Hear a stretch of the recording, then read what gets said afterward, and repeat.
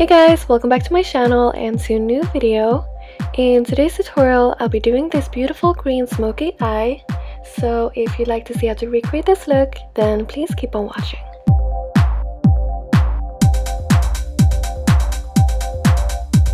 Okay, so first I'm just going to apply a little bit of loose powder under my eyes to catch the fallout, like I always do because I like to be a little messy when I do my makeup.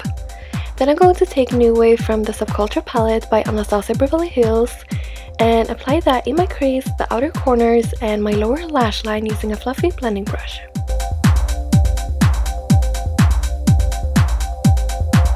Next I'm picking up Fudge eyeshadow from the same palette and I'm going to blend this into my crease and the outer corners to add more depth to the look.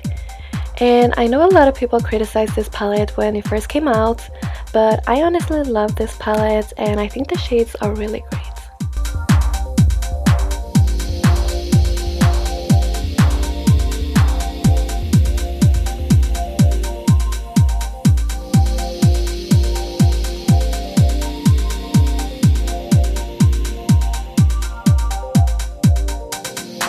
Now I'm taking this body pigment powder from Inglot in the shade 198 and I'm placing this on the two inner thirds of my lid and on the inner half of my lower lash line as well.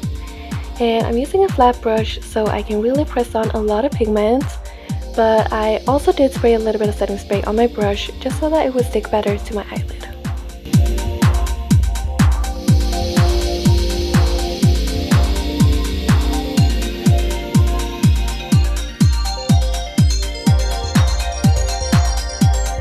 Now this first green color was a little bit brighter than what I wanted, so I decided to add a little bit of Inglot Pure Pigment eyeshadow in the shade 85 on top, and I really like the color.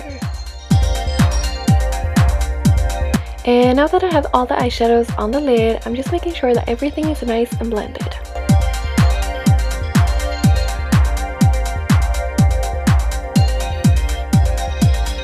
Next I'm going to take this Metal Crush eyeshadow from Kat Von D in the shade Iggy and I'm going to apply it on the inner corners of my lower lash line just like this.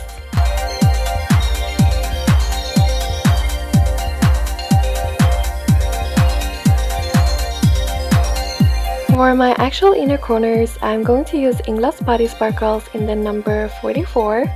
And when I first bought this shade, I thought it was a white color, but it has a hint of green to it so it's actually perfect for this look.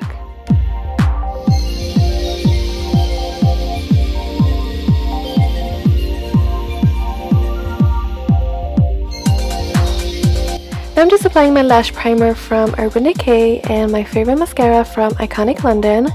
Then I'm also going to apply a pair of false lashes and I bet it's no surprise that I'm using Russian Blue from Feline Lashes since they're my fave.